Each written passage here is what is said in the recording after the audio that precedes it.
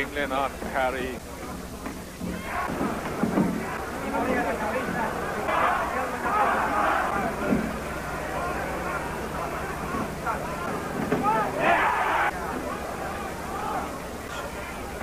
Og så kommer højre hånd.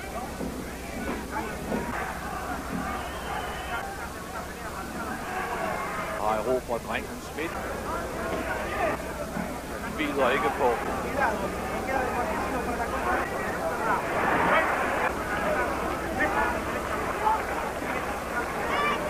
Nu farligt. Nu ser hans chance er en hurtig og bruger højre hånd. Godt, men så kommer venstre og højre fra. Så og venstre igen. Benarbejde mere tungt.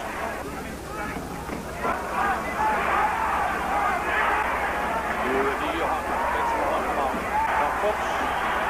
Ubarmhjertigt nådesløs fight.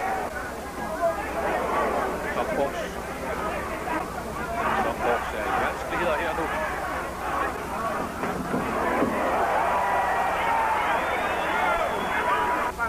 Et minut igen af denne omgang.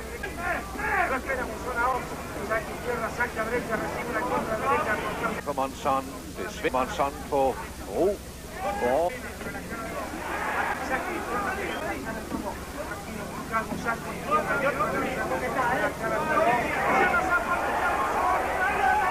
så Borg Serrano. Der er et minut endnu. Så han er rystet. Og tårn er i gulvet.